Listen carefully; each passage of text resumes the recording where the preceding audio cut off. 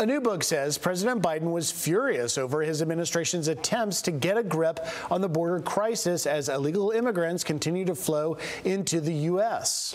Quote, aides had rarely seen him so angry from all over the West Wing. You could hear the president cursing, dropping F bombs. In parentheses, he'd always apologize when women were present. Joe Concha, author of Come On Man, is joining us now. So uh, I guess he does know what's going on at the border. I guess we've confirmed that with this new book. Joe, what do you think? Well, Ashley, as I talk about in my book, there was once a time when Joe Biden bragged about supporting border security. Here's what he said as a senator in 2006. Quote, unlike most Democrats, I voted for 700 miles of fence. But let me tell you, we could build a fence 40 stories high, but unless you change the dynamic in Mexico and punish American employers who knowingly violate the law when they hire illegals, unless you do, do those two things, all the rest is window dressing, unquote. Joe Biden actually said that, and he was well into his 60s when he said it. So I find it fascinating that this book says he's been so upset about the state of the U.S. southern border, which is a full-blown crisis, as you know, Griff, from your reporting down there. But, but, but, if he's so upset, as commander in chief, why not go there to assess the situation? Why not, in that $1.7 trillion spending bill, allocate the kind of money needed to enhance border security the way the 2006 version of Joe Biden bragged about? Oh, right, his handlers won't allow it, Griff. Yeah, that's such a great point, Joe. And literally, to be a Washington nerd here for a second. On page 753 of the omnibus bill, there is 1.9 billion with a B allocated for border uh, management uh, uh, enhancement, but not uh, enforcement yeah. of any kind, which means that's 2 billion to simply process faster and transport migrants around the country. Nothing to build the right. wall, nothing to add manpower to put boots on the ground on the border. And again, that's two billion, which sounds like a lot until you compare it to the fact that it's in a bill that's 1.7 trillion. It's a fraction of a fraction. I mean, the bottom line is that this is a president who doesn't make orders; he takes orders. And, and in this case, he should be saying, "Okay, we have to do something about this because of all this fentanyl that's coming over, killing 300 Americans a day, and the fact that millions of people are crossing into this country. It's overwhelming our healthcare system. It's overwhelming our education system, and nobody seems to give a damn." And, and that's a whole bowl of wrong, Ashley. Yes. It is. Uh, don't forget about the 410 million that's allocated to border security in other countries.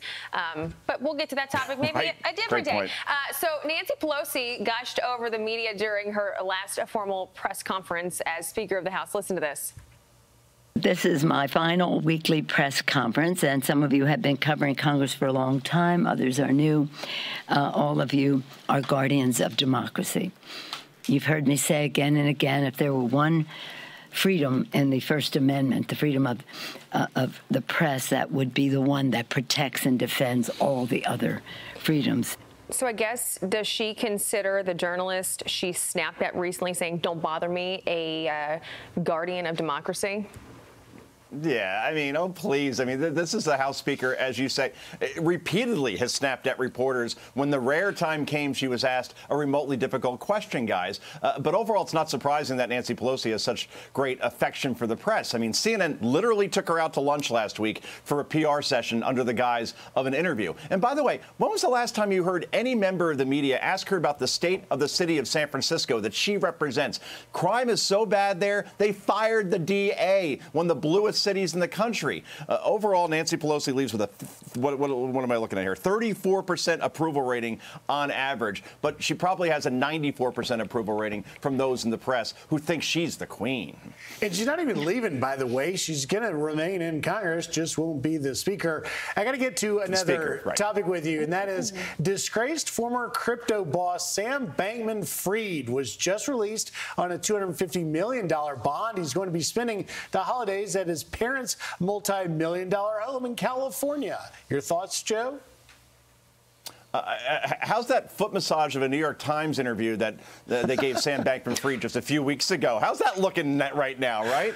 Uh, and that was after it was revealed he stole billions of dollars from his investors. By the way, he shouldn't be out on any bond. He, he's now going to be living in a, in, in a, life of luxury out in California. He should be in a jail cell. I mean, this is Bernie Madoff times 100. And the fact that he's out and is a flight risk, let's face it, uh, because I'm sure there's some money stashed away somewhere, uh, it, it's a poor decision. I, I, think most people would agree with that, guys. Yeah, and I don't, I, I just don't think he's a very likable person by anyone, whether you were screwed over by him or not. Joe Concha, thanks so much. Take, Merry Christmas to you. Merry Christmas.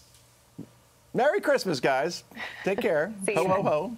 I'm Steve Doocy. I'm Brian Kilmeade. And I'm Ainsley Earhardt. And click here to subscribe to the Fox News YouTube page to catch our hottest interviews and most compelling analysis.